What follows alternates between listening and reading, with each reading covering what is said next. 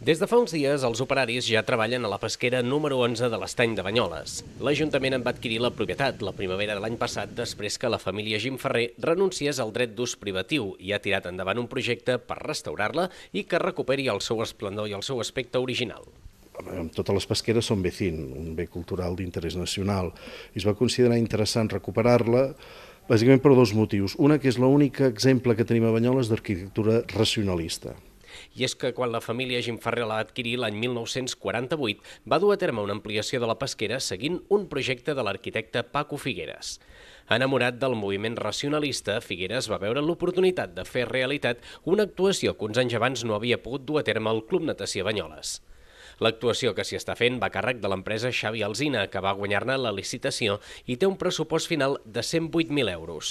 Bàsicament es recuperarà l'aspecte original de la pesquera i es restauraran elements que s'han fet malbé. Així destaca la recuperació d'una pèrgola feta amb obra i fusta que es van retirar fa 40 anys. Es retirarà la teula àrab que s'hi va col·locar. Es tornaran a situar elements ceràmics, es trauran les jardineres i s'enjardinarà el passeig d'entrada. A dins es renovaran tots els serveis i es conservaran les peculiars finestres de què disposa.